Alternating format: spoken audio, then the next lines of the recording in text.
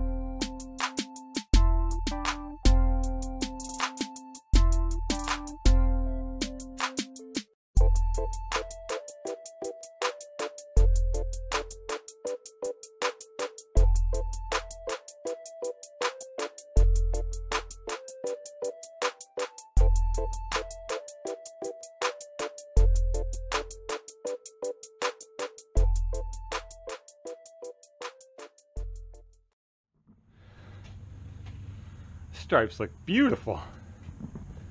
You couldn't see them. I had the camera mounted at different parts on that fence over there, so you couldn't see them that well from that way. But looking back at this direction, you see them great. I'm not actually responsible for the part in between the fence and the road, but nobody ever does it. When the city comes through or town or whatever, they leave it. So I mow it. it takes me two seconds to knock that little part out and makes it look better. And then this little part here, there's really nothing on the right hand side of the house. Um, but then there's a big area in the back. I don't know if you can tell, but that is a huge golf course. And then there's like another neighborhood back in there where I got a couple more to do today.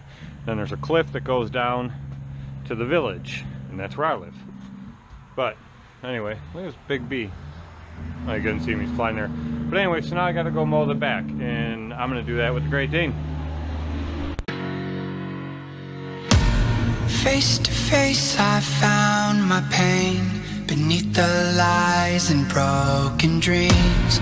Lost the love I had in me, it tore me apart, fade away. I felt so lost, but I held on to what I had. For what it's worth, if you're feeling low, just know that you can. Yes, you can. You hold. Rise above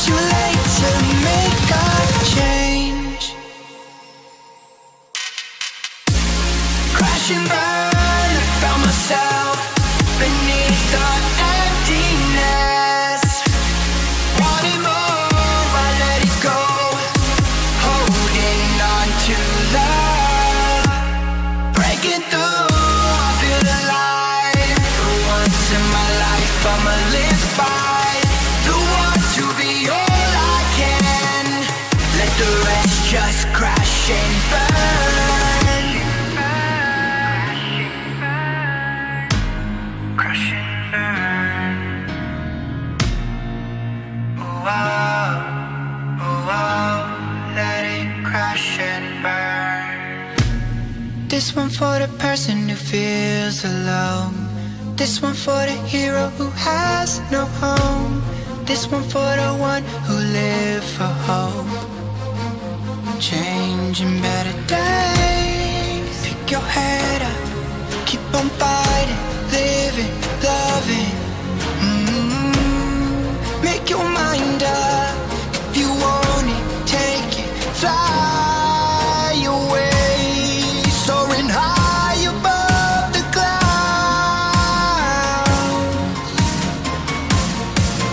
the voices